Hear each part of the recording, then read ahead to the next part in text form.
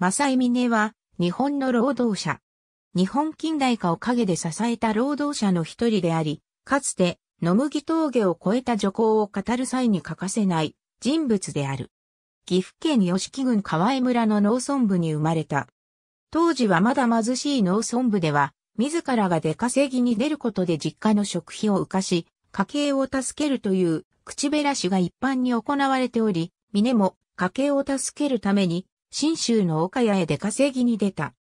明治政府による富国強兵のもと、外貨獲得のために日本の近代化を支えたものは、水の豊富な長野県諏訪地域における製紙業であり、峰をはじめ多くの女性が野麦峠を越えて出稼ぎに出た。達次郎に背負われる峰の増峰が100人以上の公女と共に、新州、岡谷に向かったのは14歳になった1903年2月。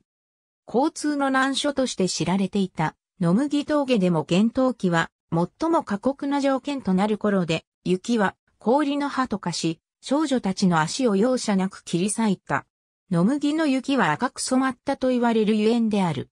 また、足を踏み外して谷に滑落する者、峠の宿に入りきらずに、外で一夜を明かすする者もいたという。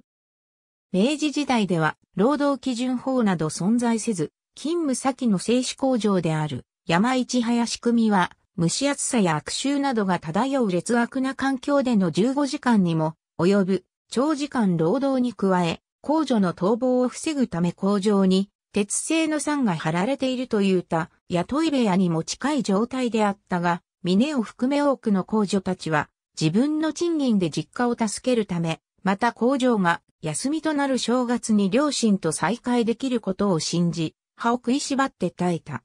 やがて、峰の仕事が高く評価されて、控除の模範となり、年収が100円を超えたが、直後に、老害から重度の腹膜炎に罹患した。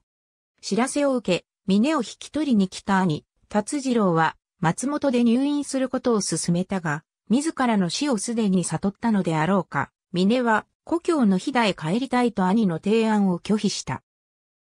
やむなく、達次郎は峰を背中に背負い、飛騨へ向かうこととなった。キロの途中、多くの女工が池を引き取った野麦峠の茶屋にたどり着くと、峰は喜びながら、ああ、飛騨が見えると言い残し、息を引き取った。1909年11月20日午後2時、わずか21歳での早すぎる死であった。